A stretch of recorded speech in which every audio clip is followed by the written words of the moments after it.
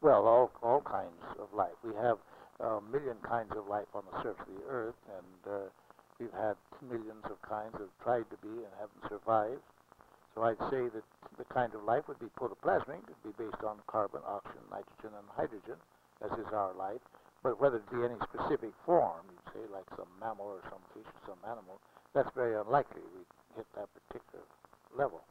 I wouldn't expect, even in a very big universe with much life, to have anything like primates, like men and monkeys in that development. That's such a rare chance.